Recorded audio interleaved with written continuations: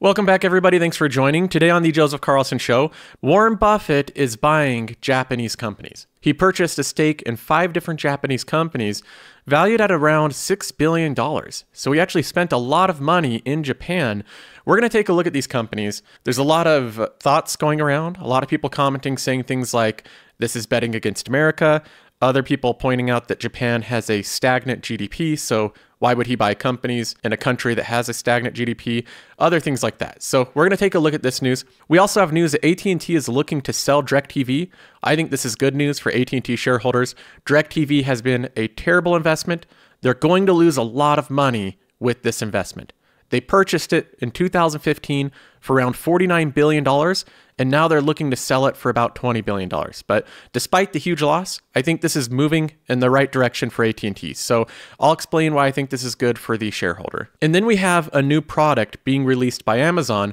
It's a wristband like a watch, but it doesn't have a face, and it's going to be directly competing with the Apple Watch and the Fitbit. So we're going to watch this little promo that they did and compare it directly with the Apple Watch. I've been using the Apple Watch for about two years, so we'll see if the Amazon wristband is as good as the Apple Watch. And then, of course, we have my portfolio reaching a value of $123,000. So it's getting up there in value. We've made a lot of gains over the past month with the market kind of recovering.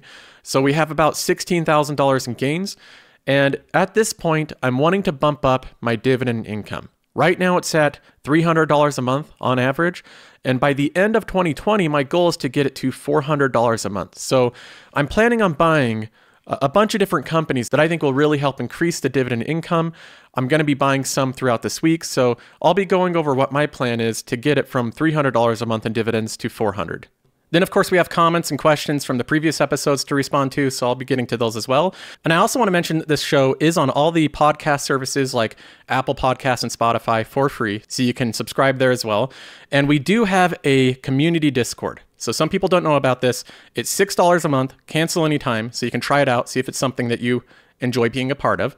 Basically, you get a lot of extra perks. You get screenshots of every single buy and sell I do, in depth research on different companies, exclusive access to a community of hundreds of investors that all discuss different topics.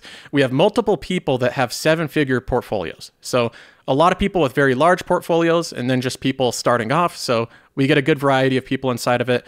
And then we have a couple exclusive episodes and access to a website that I'm developing that tracks your dividend income along with other information about your portfolio. So you can try that out. It's $6 a month, cancel anytime, and there's a link in the description. Now let's jump right into the headline news. Warren Buffett made a purchase, a combined value of $6 billion of five different Japanese companies. That's caught a lot of people off guard. Warren Buffett typically likes to focus on the US. That's where most of his investments are. He's done very little investments outside of the US, and a lot of people are confused of why he's doing that. They're also confused of why he chose Japan, which has a notably flat GDP, a stagnant economy, and an aging population. So, why is he buying five different companies in a country that fits that profile? Well, let's go ahead and try to answer some of these questions. The companies, for the most part, are ones that I've never heard of. The only one that I really recognize is Mitsubishi, but we also have Mitsui, Sumitomo, Itochu, and Marubeni. I don't know if that's how you pronounce them, but I, I don't speak Japanese. Now, the journal says these five companies are often called trading companies, but investment company might be a more precise description. They all have stakes in a variety of businesses, including interests in energy and mining. Right there, that, that reminds me of Warren Buffett, that he likes to buy energy companies. One of the other purchases that he made during the last six months was a purchase of, of some of Dominion Energy's assets. It says Mitsubishi and Itochu each control a major convenience store chain in Japan. So they have holdings in all different companies, and Warren Buffett says, quote, I am delighted to have Berkshire Hathaway participate in the future of Japan and the five companies we have chosen for investment. He says, they have many joint ventures throughout the world and are likely to have more of these partnerships. I think that's the point that most people are, are missing here. It is true that Japan has a stagnant economy. The GDP in 1995 for Japan was 5.4 trillion. Today it's 4.9 trillion. So the actual GDP of Japan in the last 20 years has had a slight decline. And it does have an aging population. This is not a place where you think of a thriving economy, but we're living in a global economy. The companies that you invest in now aren't always limited to the countries they reside in. You can take a lot of the US tech companies, for instance. Apple doesn't do business only in the US. Same with Amazon or Facebook or Google. If you take Netflix, for instance, over half their subscribers are outside of the US. So I wouldn't look at this as just investing in Japan. I would look at this as investing in five different Japanese companies that do business all over the world. Many of them have joint ventures throughout the world, and they're likely to have more of those partnerships in the future. That means that he's expecting growth outside of Japan. So if you're looking at a company to invest in, and you're concerned about the population growth and the GDP growth of the country, you need to look if the company itself can scale outside of the country it resides in. If it's limited by the country that it resides in, then you might want to be concerned about the population growth. But if it can scale outside of the country it's in, then that's not really a big concern. It's not a concern of the population growth in the US for Netflix. That's really not a big concern. And likewise, these five trading companies that Warren Buffett purchased, they work kind of like hedge funds, like holding companies. They can purchase stakes in different companies outside of Japan, all over Asia. So I don't think that he's actually limited by the Japanese economy. Now, why else would Warren Buffett want to buy these companies? It says the trading companies generally have a low stock market valuation relative to their profits, partly owing to their exposure to energy investments like oil and natural gas that may have made them attractive to a value investor like Warren Buffett. So these are companies that had low relative valuations compared to their earnings. Those are the type of companies that Warren Buffett likes to buy, ones that are at a cheap price that make a lot of money. Those are the companies he buys. So I think he just looked for companies that fit that description they're companies that have a large margin of safety. They're at low valuations. They generate a lot of profits. And he found some in Japan that have global exposure. So I don't think this is too surprising of an investment. Now, as far as what I plan on doing with this news, I do not plan on following Warren Buffett into these purchases. I need to know what I'm buying. I need to understand the companies, even if it's something that Warren Buffett bought. I still have to understand it myself, and I don't understand these companies that well. It would require a lot of research to figure out what they do, what their holdings are, uh, what their investment strategy is, and their growth plans. I'm sure Warren Buffett has a team of people that does analysis on that and really does a lot of research.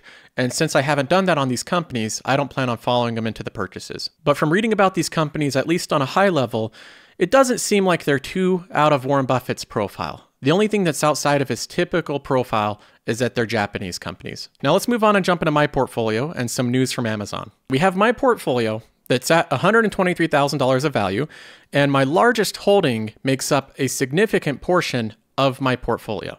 It's Apple, and it makes up $22,000 of my portfolio. So this is a really big holding. And one of the reasons that I invested in Apple was because I consider it more than just a hardware company. I consider it a movie and television production company.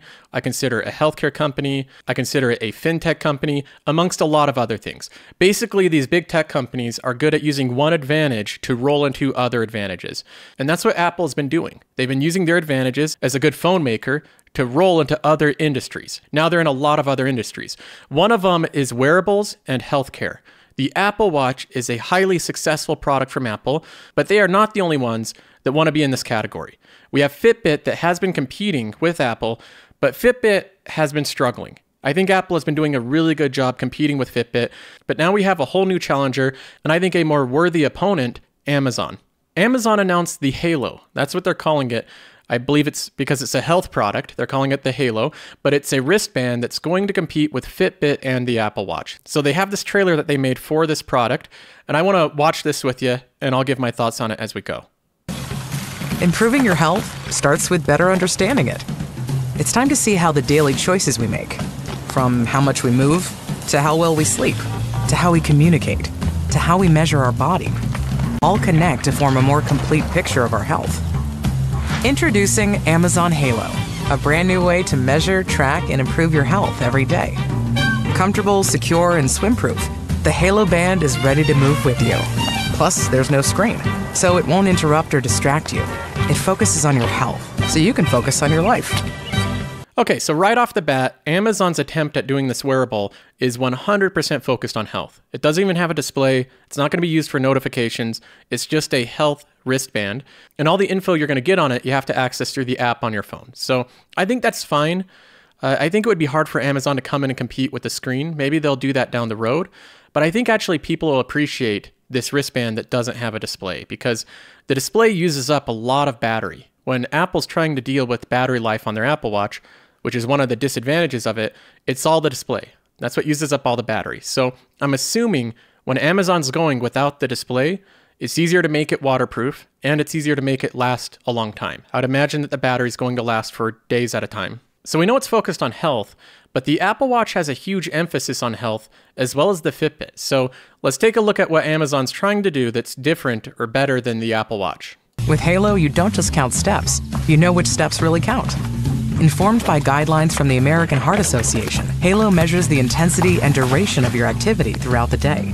Whether you're taking a stroll, taking the stairs, or pushing yourself to the limit. Halo gives you a more accurate picture of movement's impact on your health, so you can reach your goals in less time and less steps.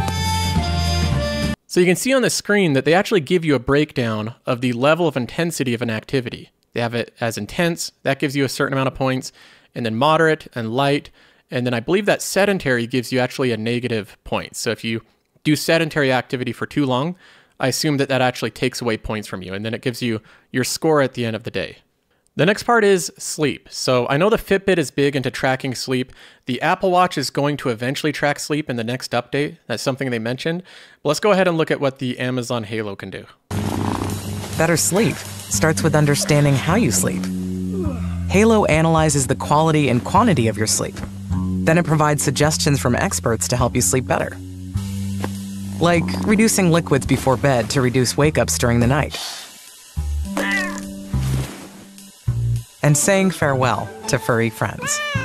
Because good sleep is an important part of good health. Okay, I think this is basically what the Fitbit does. It gives you an overall score of how good your sleep was, and it gives you a rating. This is great sleep, 89 out of 100. It tells you how much time you were awake, how much time you were asleep, and then the different levels of sleep you're in, so like deep sleep or light. That's all good, but I think that's basically what the Fitbit does. And I think that's basically what the Apple Watch will do in the next updates. So I don't see this as a big distinction between what the other ones are already doing.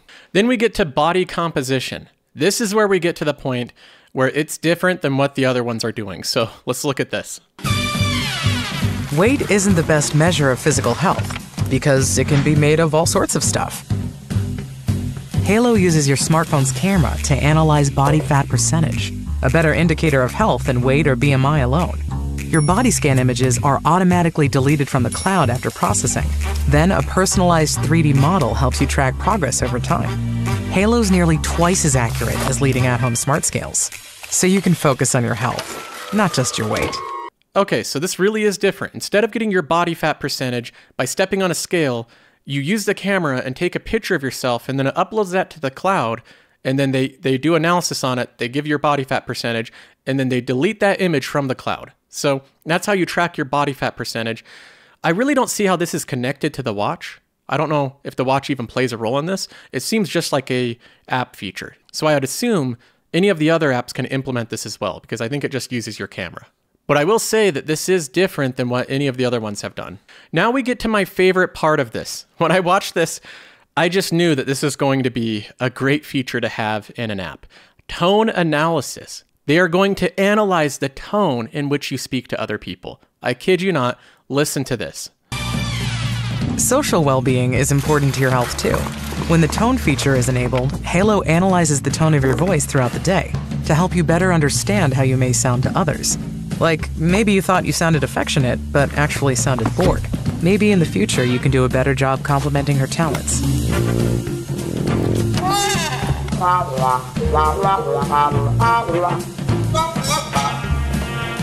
With Halo, you can make sure what people hear with their ears matches what comes from your heart. And you can speak easy, because Halo is built with multiple layers of privacy and security. Plus, you can turn off the microphones on your Halo band at any time. I kid you not, guys, this is where we are. You can let Amazon listen to all of your conversations and then give you individual breakdowns of the tone that you are using while communicating with different people, whether you are happy or confused or worried or bored. And it'll give you breakdowns of who you are talking to and what kind of tone you use with them. This is the world that we live in. Welcome to the future. We have the cloud listening to us and telling us what tone we're using with our, our communications. Pretty incredible stuff. Uh, kind of creepy and weird to realize that this is what we've come to. This is the level of technology in our life. But I have to say, I am very intrigued by this. This feature was something that I felt like I gotta have. I wanna know what my tone is with different people. I've been in trouble before with my wife, and I'll say, Look, what did I say that was wrong? You know, what did I actually say? And she'll say, well, you didn't actually say anything wrong, but you had a bad tone. And I'll say, I don't know if my tone was bad. So if I had a feature like this, I'd actually be able to see if my tone was bad. Did I have a bad tone when I was talking with you? Well, we can have Amazon decide. I can have Jeff Bezos let us know if I was having a good tone or not. So this is a feature I thought was very interesting, completely different than what I've seen with any of the other uh, smartwatches or anything that's out right now. And it just goes to show how pervasive technology is. And then the last part of this is the labs. Once you understand your habits, you can make informed choices to improve them. Halo Labs are trackable challenges and experiments developed by experts to help you build healthier habits for life. Like getting steps in during phone calls, sleeping better by napping less, and de stressing by decluttering. With Halo, you can fine tune the way you tick. So there you have it, Amazon Halo. When you realize where we're at with technology, at some point it's just going to be integrated into our our brain. We're going to be thinking and be part cyborg. So that's the direction we're going. The Amazon Halo is one more step there. This thing can monitor your health, your weight, your tone, your sleep, pretty much everything about you concerned with your health. And I assume that this is only going to get more and more advanced. So, overall, I would like to see a lot of these features implemented in the Apple Watch. My experience using the Apple Watch for the past two years has basically been that it's a good notification center for when I get a notification on my phone, I can look at my watch. But it doesn't have a tremendous amount of, of features beyond that. It has some things that you can look at your heart rate, you can track your, your runs outside. So it does have some basic things like that, but it doesn't have the sleep tracking yet. It doesn't measure your tone. You can't really get a good accurate picture of your BMI. I think that Apple's going to be pushing it in this direction, but I like seeing products like this from Amazon because I think it will give them a really big push. It'll push them in the right direction. So I like seeing things like this coming out. Now moving on, another thing that we just found out recently is that AT&T is is in rumors they're looking to sell DirecTV. So this is something that they haven't completed yet. We don't know if they're really in the steps of making a deal, but it's rumored that at least they're trying to sell this, which in and of itself I think is good news. The report says that AT&T is looking to sell just over 50% of the asset, which would allow the telecom giant to take a fast shrinking business off its books while enjoying the benefits of a still large distribution network, some of the people said. Any deal for the satellite TV service could be sizable, but likely a far cry from the $49 billion that AT&T paid for it in 2015. The pay TV unit has lost millions of subscribers in recent years as viewers switch to on-demand entertainment services like Netflix. A deal could value the business below $20 billion, some of the people said. I think this is great news to hear. As an AT&T shareholder, I want them to get rid of DirecTV. Everybody knows how I feel about streaming services, Netflix and Disney and HBO Max. Those are the future. The DirecTV the pay for television, they're going to continue losing millions of subscribers every month. It's going to continue to decline. So DirecTV is going to be worth even less in the next five years than it is today. So I think that AT&T should sell it off, get whatever they can, pay down debt, and then try to focus on HBO Max. Right now, they're in negotiations with Roku. It's kind of a similar situation to Fortnite and Apple, Roku has all their fees and demands for getting onto their platforms. So AT&T is trying to sort that out with Roku, same with Comcast and Roku, as well as the Fire TV. So once they get those deals sorted out, I think they have a good chance of growing HBO Max, and if they can get rid of DirecTV, they get rid of one declining portion of their business, which puts them in a good position of growth. AT&T right now is a complicated, messy company. It has different parts of its business, some of it growing, some of it declining, very difficult for investors to get a grasp on it. And that's why it's trading at $30 a share. It's trading very cheap. It hasn't really gone up with all these other companies that have been exploding in value. So, if they can go from a messy, complicated business with certain parts of it declining to a simplified growth story, that'll be something I think shareholders will value. So, if they get rid of DirecTV, they got rid of one of the worst investments ever that's going to continue to decline. I think it would be a very good move. It position them to where they are a growth company again, and then they can focus on their best assets, which I think is HBO Max. I want to see them do that. I do plan on with this news putting an additional $2,000 into AT&T. This is going to be a company that if they maintain their dividend, which I think they can, it'll be a very big dividend payer. I'll get well over $100 a quarter in dividends. So I'll use that money to continue to reinvest and buy shares of other companies. But I think right now at $30 a share, it's a pretty decent buy. Now, just a quick update on my passive income. This is the monthly dividend chart. Right now, I'm earning, on average, about $300 a month in dividends. My goal for 2020 is to get it to a point where it's earning, on average, about $400 a month in dividends by the end of this year. So I have some work to do to get there. I'm planning on purchasing some high yielding companies that I think will bump up the income of my portfolio quite a bit.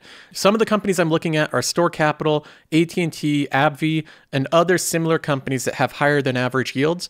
And that way I can continue to invest in those and bump this up because I want to get my portfolio to a point where every month on average it's giving me $400 a month. I can take that money and pick out what company I want to buy that I think's undervalued that month. So if I get to the point where it's really producing that much cash, I can have fun investing that money into what I think are undervalued companies every single month. That's what I plan on doing. I'm going to show the progress of this. We'll be able to see if we can hit over $400 by the end of the year. Okay, let's move on and get to some emails and questions. The email address is joseph at josephcarlsonshow.com. You can write in any question you want or any topic that you're interested in, and I'll respond to them on the show. The first one is from Ganesh. Ganesh says, Hi, Joseph. Love the show. Keep up the good work. Couple of questions for you. So, yes, two questions in here. The first one is AT&T. I rewatched the episode you made about AT&T where you talked about Elliott Management's letter in activating AT&T.com, and I see that that website is no longer active and was wondering if they were actively behind AT&T.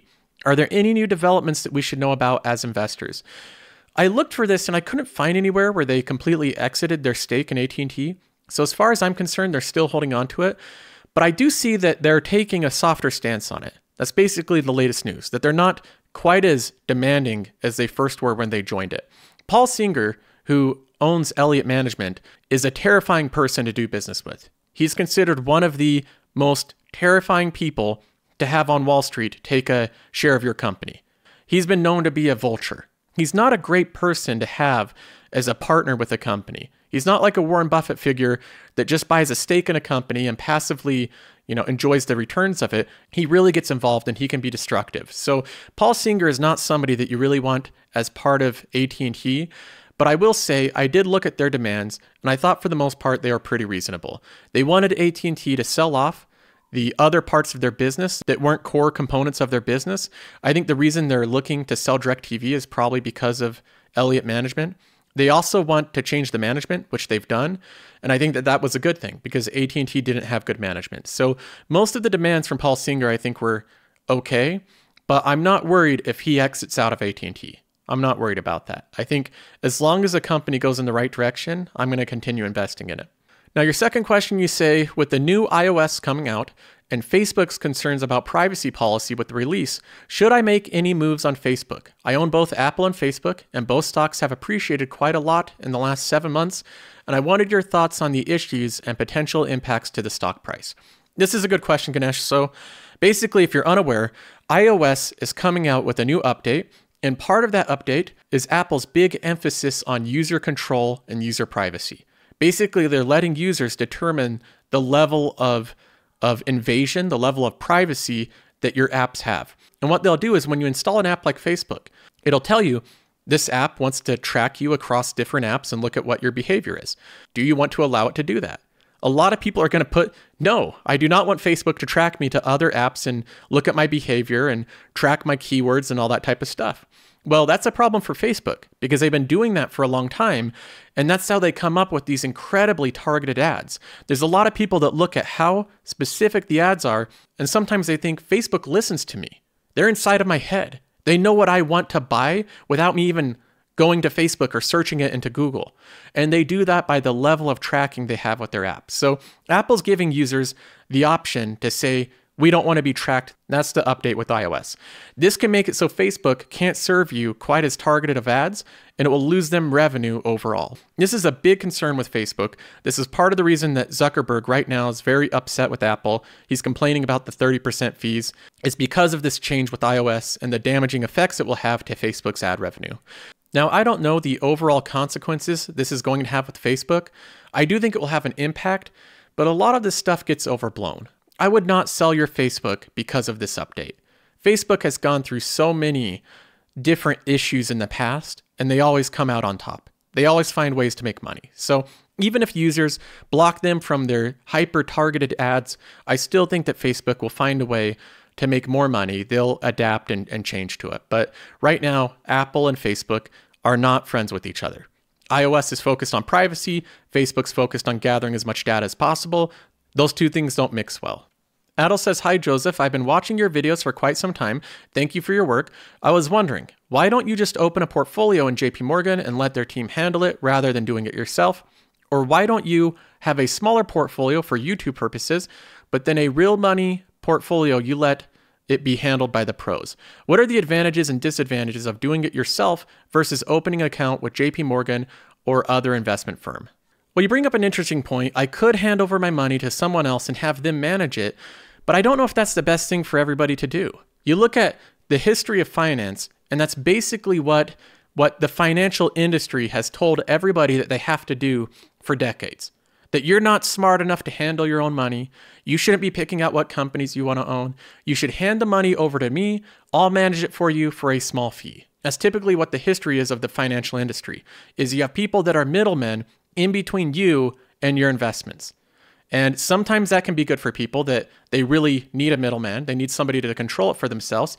But I think for most people, they should be more hands on with their money. They should know where their money's going, what companies they're buying, what's happening with it. And a lot of times they don't need a middleman to be able to figure that out. So we look at these new apps like Robinhood and M1 Finance and a lot of the investors in these apps using them, the younger investors, have been doing really well over the past six months. They've been investing in companies that are growing. They look at the changes in industry, the changes in the market, and they're able to identify areas of growth. So I think in many cases, people that are stock pickers are way too criticized. I don't think that there's any problem with stock picking. All you're doing is picking out what companies you want to own. That's all you're doing when you're stock picking. You're just saying, I think Home Depot's a great company. I think it has great prospects. I want to own a bit of Home Depot, so I'm going to buy some shares in it. There's really nothing magical about it. You can put most of your money in ETFs if you want to do that, but I don't think that that's necessary for everyone. Okay, Axel says, Hi Joseph. I am a Canadian and I enjoy watching your videos. Recently, you criticized media outlets comparing Canada's GDP of 2 trillion to Apple's 2 trillion dollar market cap. I would say that you make a valid point, but one thing that is not mentioned is that Canada's federal expenditures for 2018 was about 260 billion in USD. Apple's profit for 2018 was just under 60 billion USD, not including expenditures that are write-offs. I think what would make people uncomfortable is that a single company spends slash makes at least one fourth of what the federal government of the 10th largest economy in the world spends. That is an insane amount of money for a single company to have, especially when compared to a government that governs tens of millions of people. Well, Axel, you bring up an interesting point. I don't think it should be something that makes people uncomfortable how much money Apple makes, because they're valued at $2 trillion. If they were valued at $2 trillion and they didn't make a lot of money, that would be something that would make me very uncomfortable. If they were this big bubble of a company that really doesn't generate much profits but has an incredible valuation, that would make me uncomfortable both as just a consumer, knowing that the economy is eventually going to to blow up when Apple pops as a bubble, but it would also make me concerned as an investor. I would not invest in a company worth $2 trillion unless it did have incredible amounts of profits. So comparing it to the the government of Canada and how much money they spend, I think is an interesting comparison, but I don't think people should be worried about companies growing really big. I don't think that's the problem. I can see a world 10 years down the road, 20 years down the road where there's multiple companies worth five or six trillion dollars. And I'm very confident that the people 10 and 20 years from now, they'll have much more comfortable lives than we currently have. They'll have much more capital and wealth and luxury than we currently have, even with bigger companies. So, big companies, in and of themselves, are not the problem. The problem is if they get there by anti competitive, restrictive ways that are abusive of a certain monopoly. That's the debate going on. Maybe Apple does that in certain ways with their App Store. We're figuring that out. We have a current court case with Fortnite, with Epic Games, and Apple. So there's lots of these concerns about anti competitive laws. I think that will get sorted out over time, but I don't see it as a problem with just these companies being really big. Okay, well, on that note, I'm going to end this episode there. I appreciate all of you for listening. Be sure to subscribe, like the video, help out the, the YouTube algorithm, that mysterious YouTube algorithm, and check out the Discord if you're interested in more Joseph Carlson Show. You can join the discussion there. So, otherwise, I will see you guys next time.